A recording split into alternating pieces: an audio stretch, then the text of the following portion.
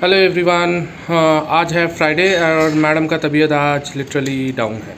Good morning पता नहीं आज का मॉर्निंग गुड है या बैड है? मेरे लिए तो बैड है एटलीस्ट क्योंकि कल से है मुझे हल्की हल्की सी फीवर साथ में सर्दी जुकाम तो नेक्स्ट लेवल का हो गया है खांसी हाँ। भी। पूरी रात में सो नहीं पाई कल। अभी टाइम हो रही है सुबह के साढ़े आठ और इतना जल्दी मैं कर रही हूँ ब्रेकफास्ट ब्रेकफास्ट में आज है इडली चटनी और मम्मी अभी एक बॉईल कर रही है। बस यही खा के जाऊँगी आज हॉस्पिटल आज काफ़ी सारे डॉक्टर के पास अपॉइंटमेंट है. पहले तो आज मेरा स्कैन होगा फाइनल स्कैन जो होता है थर्टी एट वीक्स का. तो आज वो वाला स्कैन होगा. उसके बाद और एक डॉक्टर कंसल्टेशन है. उसके बाद मेरे गायनिक के साथ कंसल्टेशन है. घर आते आते मोस्ट प्रोबेबली दोपहर तो क्रॉस ही कट जाएगा. तो अभी फटाफट से ब्रेकफास्ट खत्म करके रेडी होके निकलते हैं फिर आप लोगों से बात करते हैं. यह अभी हो रहा है मेरा हॉस्पिटल बैग रेडी मम्मी एक बार फ़ाइल चेक कर ले रही है, सब कुछ ठीक से। और यहाँ पे जो स्टील का ये बड़ा सा फ्लास्क है ना, ये वाला पापा कश्मीर से लेके आए थे। बहुत ही अच्छा क्वालिटी का फ्लास्क है। कश्मीर जैसे ठंड में भी ये फ्लास्क में अगर आप गर्म पानी रखोगे तो 48 एट आवर्स से भी ज़्यादा टाइम तक बहुत ही अच्छे से इसमें पानी गर्म रहता है। तो मम्मी जी, कल से मुझे इसी में ही पानी गर्म करके दे रही है। कल से मैंने नॉर्मल टेम्परेचर का पानी पी ही नहीं है। इस फ्लास्क में ही गर्म पानी मम्मी जी मुझे करके दे रही है और मैं लगातार वही पीती जा रही हूँ। तब जाके गले में थोड़ा सा आराम लग रहा है। तो ये हो गया मेरा हॉस्पिटल बैग रेडी फ़ाइल चला गया। थोड़ी सी सर्दी जुकाम भी है ना तो मम्मी एक हैंकी भी दे रही है मुझे और साथ में है पानी का बॉटल মুখটা বন্ধ আছে তো ঠিক করে? ঠিক আছে। তোমরা সব সাবধানে থেকো। খাওয়া দাওয়া করে নিও।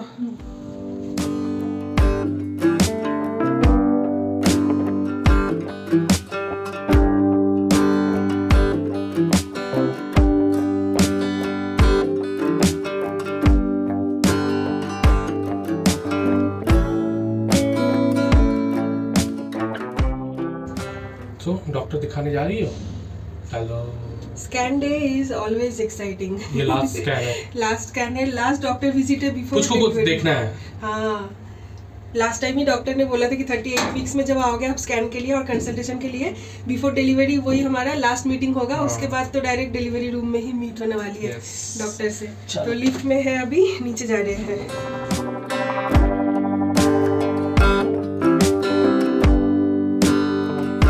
लास्ट एक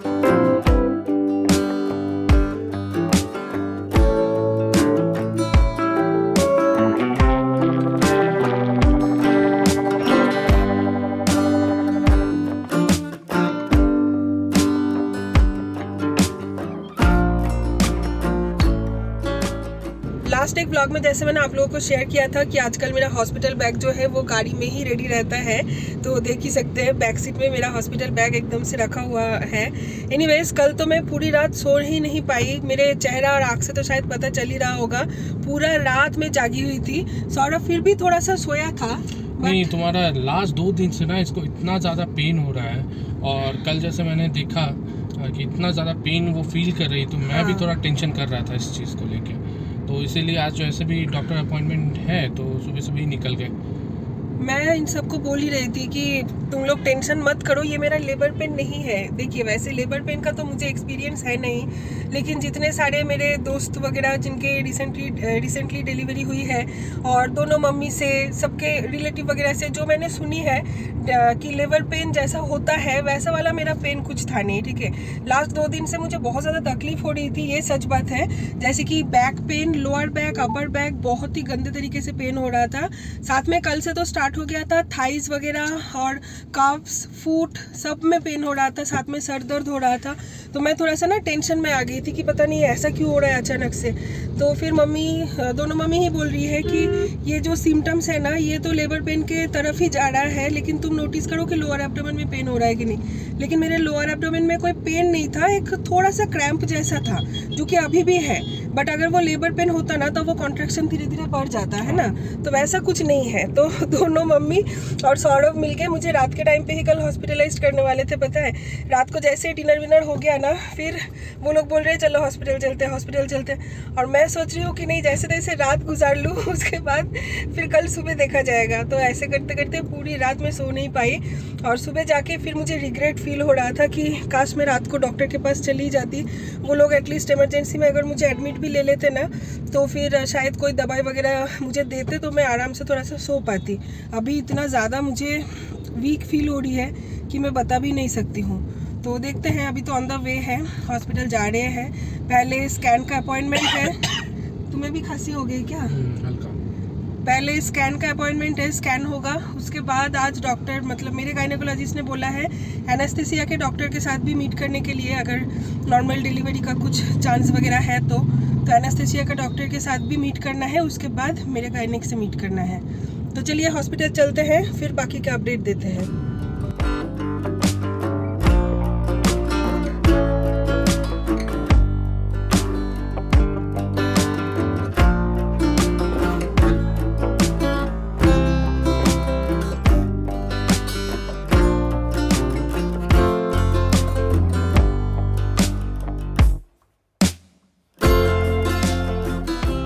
हॉस्पिटल तो पहुँच गए हैं, लेकिन वही सेम इशू वैले पार्किंग के लिए है काफ़ी लंबा क्यू तो अभी हम लोग वेट कर रहे हैं। हमारे पहले ढेर सारे कार अभी भी है पार्किंग के लिए, जो कि पार्किंग फुल है। सौरभ ने तो इतने बार डांटे भी है ना उन लोगों को।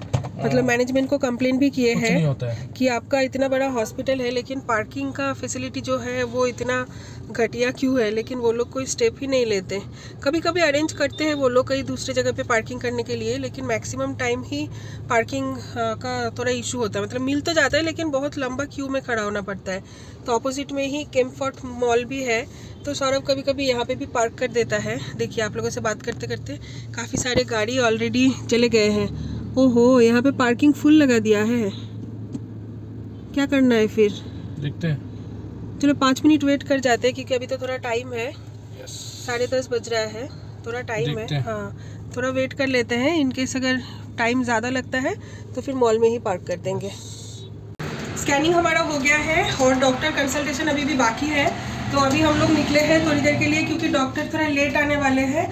डॉक्टर आएँगे अराउंड वन ओ क्लॉक। तो अभी एक घंटा टाइम है हमारे हाथ में। तो अभी हम दोनों जा रहे हैं थोड़ा लंच करने के लिए।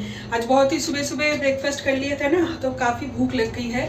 तो देखते हैं आसपास क्या मिलता है। हल्का फुल्का ही थोड़ा कुछ ब्रेकफास्ट कर सॉरी लंच करेंगे सोच रहे हैं। हॉस्पिटल के ऑपोजिट में केमफर्ट मॉल में ही हम लोग आ गए हैं। वैसे भी ये वाला मॉल में इससे पहले कभी आना नहीं हुआ था।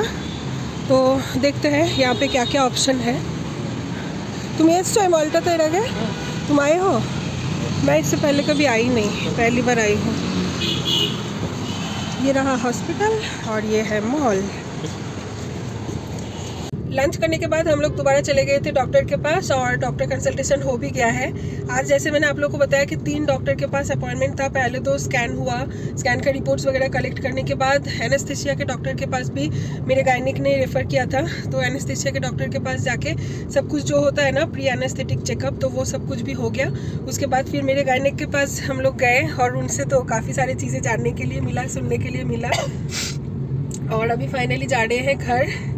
सो यस डिलीवरी का डेट तो मिल गया है लेकिन अभी डिस्क्लोज नहीं करेंगे। थोड़े दिन बाद सस्पेंस सस्पेंस रहने देते हैं। इतना बता सकती हूँ कि और बिल्कुल भी टाइम नहीं है बिल्कुल भी नहीं। बस बहुत जल्दी एक नया मेहमान आने वाला है। हाँ बस कुछ घंटों की देरी है है ना? फ्यू मोर आवर्स मतलब आप दिन में भी काउंट कर सकते हो लेकिन दिन से ज़्यादा अगर हम लोग आवर्स में काउंट कर रहे हैं ना तो वो ज़्यादा मतलब एक्साइटेड लग रहा है सुनने में। तो एवरीथिंग इज़ डन और लंच में आज हम लोग खाए हैं वही थोड़ा नॉर्मल दाल चावल वही थाली काइंड ऑफ़ ले लिया था। पहले सोचा था, सौरभ बोल रहा था पिज़्ज़ा वगैरह खाएगा, लेकिन मैंने बोला है नहीं, छोड़ दो। लंच में थोड़ा सा दाल चावल ही खा लेते हैं सिंपल सा, क्योंकि यहाँ पे गर्मी भी है और मेरा तबीयत भी ख़राब है तो इतना कुछ खाने का मुझे मन भी नहीं हो रहा था। तो सिंपल सा थोड़ा दाल चावल खा के, फिर गायनेक से मिल के सब कुछ हो गया है कंप्लीट अभी जा रहे हैं घर। मैं तो एकदम बेचैन हूँ कि दोनों मम्मी घर पे है। इतने दिन से क्या होता था ना, हम लोग डॉक्टर कंसल्टेशन करके अ, घर जाके मेरे मम्मी को तो मैं बताती थी लेकिन मम्मी जी को यानी मेरे सासू माँ को हम लोग गाड़ी से ही फ़ोन करते थे है ना? मम्मी जी को पापा को घर गाड़ी से ही फ़ोन करके घर पे हम लोग इन्फॉर्म करते थे। तो आज दोनों को जाके एकदम एक साथ बिठा के सब कुछ बताएँगे। डॉक्टर ने क्या बोला क्या नहीं तो एक्साइटेड तो काफ़ी ज़्यादा हूँ। पापा को ऑलरेडी फ़ोन मैंने कर लिया है। पापा तो वेस्ट बंगाल में है ना?